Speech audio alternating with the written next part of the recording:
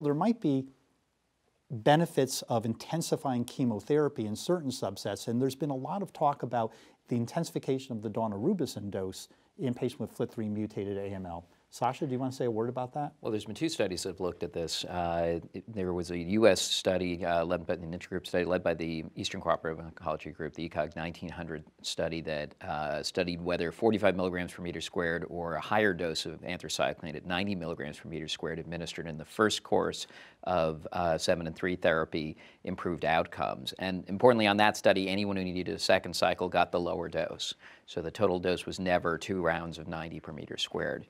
Um, and that study showed that there was both a better CR rate and also a better overall survival for patients who got uh, the higher dose of daunorubicin overall. And subsequent studies looked at uh, long-term follow-up from those patients. And one of the groups that really seemed to benefit the most of this were patients with FLT3-ITD, who had a substantially better overall survival treated at the higher dose of daunorubicin than those treated at the lower dose.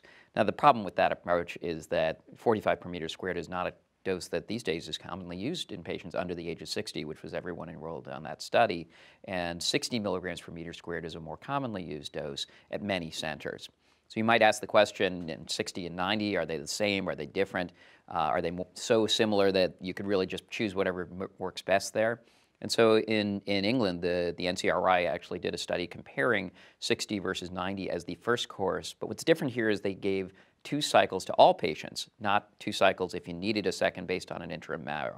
So we're really looking at a cumulative anthracycline dose that's much higher on that study than really anything that we looked at in the US. And that might be why they, they saw that there was no difference on that study between the two arms overall. But then, interestingly, when they looked at a subset analysis after the study was done, they looked at the FLT3 mutated patients, and particularly those with FLT3 ITD, and saw even in that group that there was actually a survival benefit to the higher dose that was given on the first course. There really may be something there in terms of anthracycline sensitivity in FLT3 ITD positive AML that suggests that we should be using higher doses of anthracycline, at least for daunorubicin, in induction in these patients. Now, the real question in my mind, now that we're no longer just giving chemotherapy alone, we're adding midostaurin or other FLT3 inhibitors to frontline therapy, is it just an incremental improvement in outcome that you can get from a more intensive induction? And you'll get that with either a FLT3 inhibitor or a higher dose of daunorubicin? We don't really know that. We don't know that you know 90 milligrams per meter squared plus midostaurin is better than 60. We do know it's feasible. There's some data presented at the, at the meeting uh, that showed that it's feasible to give daunorubicin at 90 milligrams per meter squared and midostaurin, but we don't actually know that that's better. And in fact, there was a um, Korean study published in uh, JCO looking at daunorubicin 90 for three days and idarubicin. Again, no difference except in the FLT3 mutated right. groups, showing Although a benefit. I, I, would interject the cynic's view of this. A lot of time and research energy are being spent in rearranging which anthracycline and which uh, dose of cytarabine I think we've pretty much maxed out the benefit we're going to get from a cytotoxic backbone. I agree, you might tinker a bit with it, but moving ahead by incorporating targeted therapies, I suspect, is where we're going to make real I progress. completely agree, and, and, and we, that's where we need to go. But the, quest, the real question for you then is, based on what Sasha said, should the randomized phase three studies of um, these novel FLT3 inhibitors be done with a backbone of 90 per meter squared of daunorubicin, or does it not? Having, having tried to do this worldwide, you will not get anybody to agree on a backbone. So you have to come up with this mishmash of, of satisfy everybody. You will never convince anybody in certain parts of the world that 90 is essential. There are those that think if you're not giving idarubicin, you're committing treason or you're committing malpractice. I'm not kidding.